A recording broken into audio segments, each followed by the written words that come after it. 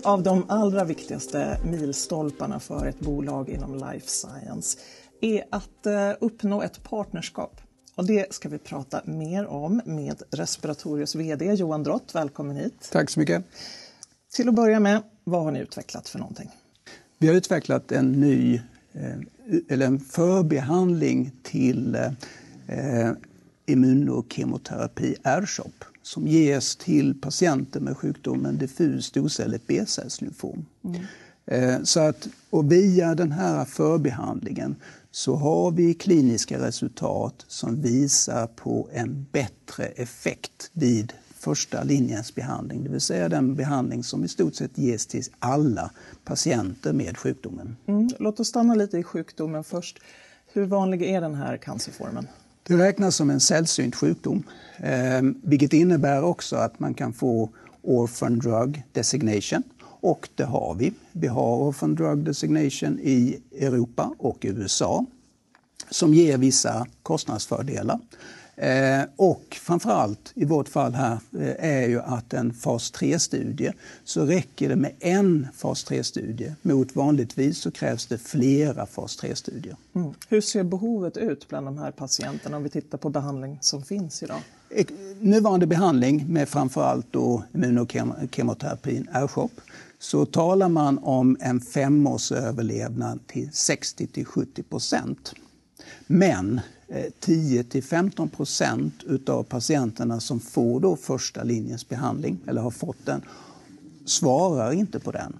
Och 40 procent av de som faktiskt svarar på behandlingen återfaller i sjukdomen inom 18 till 24 månader. Mm. Så det är där ni vill komma in, till dem det inte svarar för? Nej, vi vill komma in på samtliga patienter mm. för att förbättra eh, eh, effekten av första linjens behandling och kanske också få en bättre response rate så att det är färre refraktära patienter och färre återfallande patienter. Så att vi vill gå på hela patientgruppen som får då eh, med den inledande behandlingen. Mm.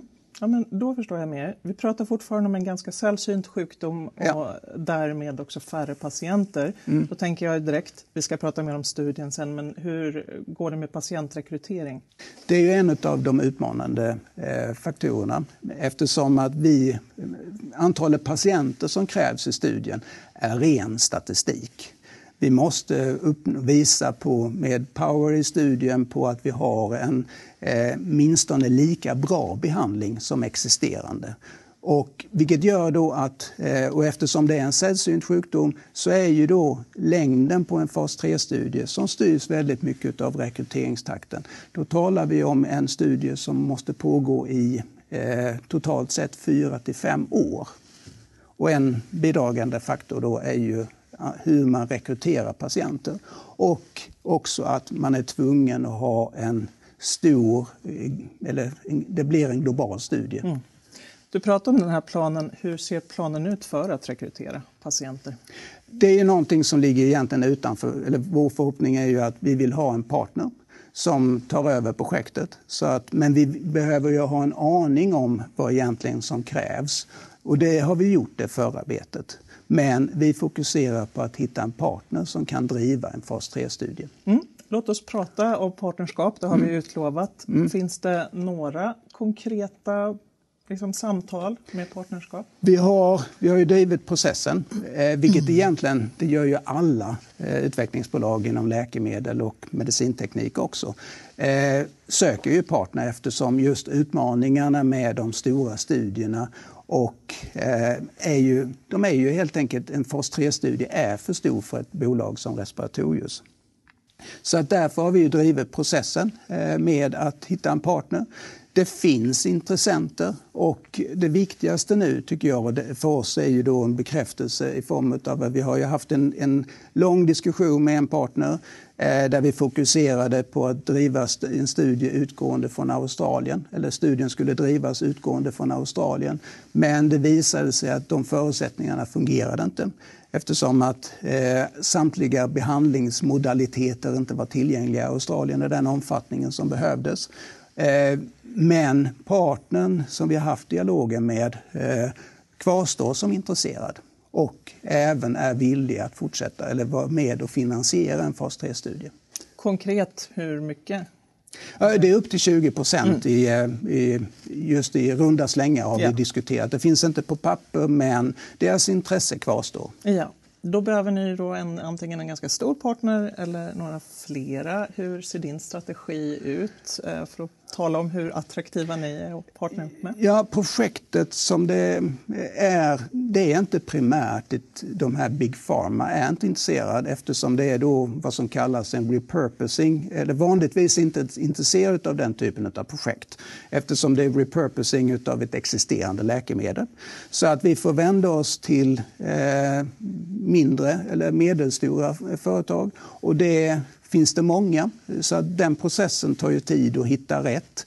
Eh, men, och sen vill vi ju vi vill fortsätta och det har vi fokuserat på att riskminimera i projektet. Och en av de stora är ju den finansiella risken. Och där har vi ju nu en första pusselbit på plats med någon som är villig att investera eller vara med och investera upp till 20 procent. Så att det ser vi som ett sätt att underlätta i processen. Mm. Hur ser en perfekt partner ut i dina ögon? Eh, ja, men framförallt är det ju någon som... Eh, man måste vara medveten om att det är en studie som måste pågå i flera år. Så eh, långsiktigt perspektiv? Ja, det ja. måste finnas det. Mm. Eh, som har den kommersiella kapaciteten att nå ut på marknaden Eh, och uthålligheten, det är de viktigaste faktorerna. Mm. Och vad kan ni erbjuda om du ska sammanfatta det?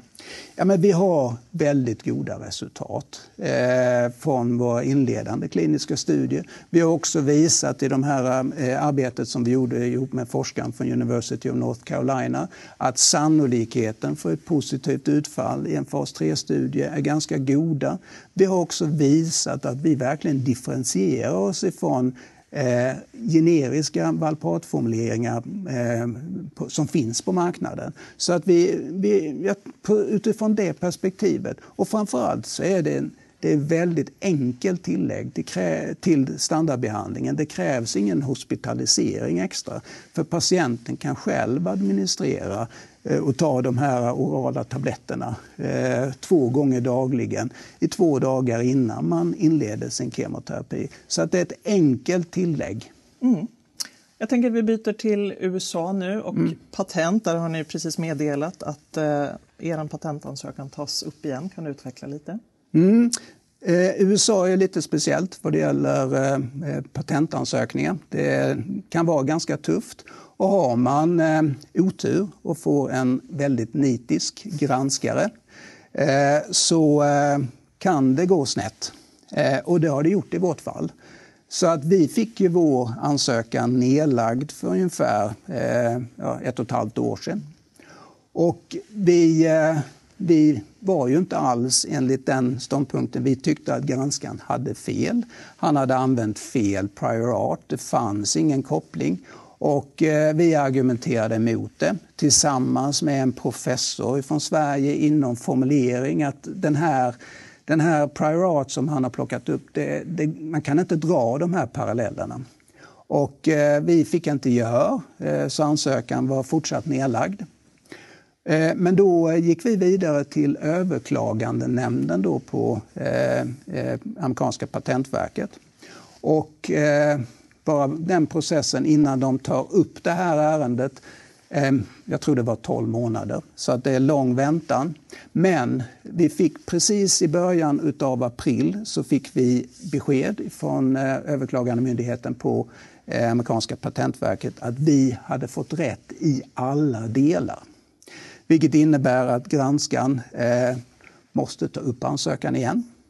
Och det finns en frist eh, när han måste besvara ansökan, som nu är aktiv. Mm.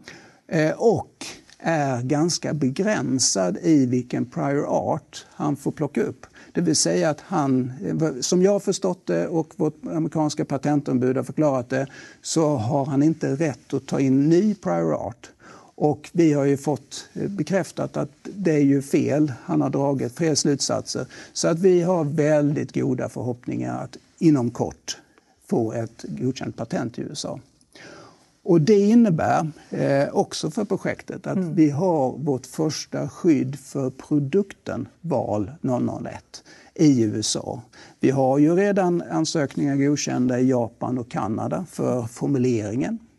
Men det här skulle också innebära att vi har ett första skydd i USA. Och USA är den enskilt viktigaste marknaden, eh, både storleks och ersättningsmässigt. Så det är en viktig marknad. Och då ska man komma ihåg att vi har ju drivit den här eh, partningprocessen kanske lite för tidigt. Framförallt kanske vi kommunicerade till, eh, kring den lite tidigt. Men det har vi gjort utan att ha en ansökan ens vid liv i USA eftersom den var nedlagd. Så att vi har goda förhoppningar då med att dels har vi en patentansökan som, som är bara en viktig del eh, som lever och vi har också goda förhoppningar om ett första godkänt patent. Mm. Sen ska man nämna också att vi har ju fler ansökningar eh, i en annan patentfamilj kring just formuleringen i och med att vi lämnade in den här ansökan innan vi hade ens påbörjat den rent tekniska utvecklingen. Mm. Och vi har ju slutfört den och vi lämnade in ytterligare en ansökan då för, drygt, eller för ett år sedan ganska precis. Och den ansökan är ju inte publik ännu, det blev den först vid årsskiftet ungefär. Eh, så att vi har ju goda förhoppningar om att det finns ytterligare skydd för val 001. Mm. Innan vi lämnar patentdelen, du säger inom kort när det gäller den amerikanska patentansökan. Liksom, vad innebär det ungefär? Ja, vi pratar månader. Mm. Eh, så det, förhoppningsvis så har vi det. Eh, jag, jag, ska inte säga någon datum eftersom det beror ju, den här granskan har ju varit nitisk tidigare. Ja. Så att, det, månader, det, inte år? Det är inte år, nej. Det är månader. Det är mindre än halvår. Ja, men det nöjer jag mig med. Ja.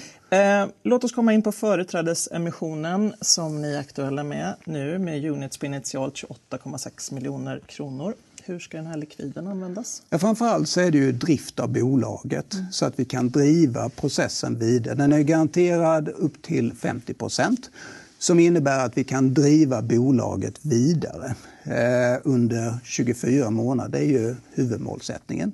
Och att vi ska fortsätta att kunna driva partningprocessen. Eh, I den interaktionerna vi har haft med bolag så har vi ju sett att vi kanske behöver... Vi vill, man lyssnar ju vad en partner säger och sen vill man tweaka lite på erbjudandet. Eh, och vi, vi, har fått mycket kommentarer om att eh, vi inte haft någon interaktion utöver Orphan Drug Designation med FDA. Så att vi ska ta upp den tråden, vilket också skulle bekräfta lite grann om storleken på studien. Kanske om det finns några förutsättningar för att få någon expedierat eh, godkännande eller någonting sånt. Men det är för tidigt att uttala sig. Men det är ju en av anledningarna. Så att vi planerar att ha en interaktion med FDA också. Mm. Nu har vi hört mycket om planer, vad ni gör, närmaste framtiden. Sammanfattningsvis, om vi tar en potentiell investerare, någon som vill satsa på er, helt kort, vad är bästa argumentet? Bästa argumentet är, tycker jag, att vi har väldigt lovande resultat ifrån de inledande kliniska studien, eh, Eh, studierna. Och då ska man komma ihåg att som investerare i biotech eller läkemedelsutveckling att det är 90 procent av projekten klarar inte en första, eh, kommer inte ut positivt efter en fas 1-studie. Och vi har tickat oss igenom och är framme vid en fas 3-studie. Och vi har också visat på att det är god sannolikhet för att en fas 3-studie kommer ut positivt. Naturligtvis så finns det stora risker med att investera i ett bolag som Respiratorius men det finns goda förutsättningar för eh, ett positivt resultat. Det, nästa steg är ju då för oss att driva en partnerprocess och hitta, identifiera en partner. Och vi tycker att vi har, dels har vi ju då ett patentgodkännande som förändrar situationen en hel del för bolaget och att vi har i form av den partner som vi diskuterade kring eh, Australienupplägget. De är ju fortsatt in, intresserade av projektet och är villiga att vara med och delfinansiera en eh, fas 3-studie som är då den stora utmaningen eh, framöver för, eh, för att ro, ro den i hamn helt enkelt. Men det har vi uppnått. Så att det tycker jag är de anledningarna som jag själv ser som bra eller grund för att fortsätta investera i Respiratorius. Mm. Jag tycker vi ror den här intervjun i hamn. Stort tack för att du kom hit Johan Drott, alltså VD för Respiratorius. Mm, tack så jättemycket.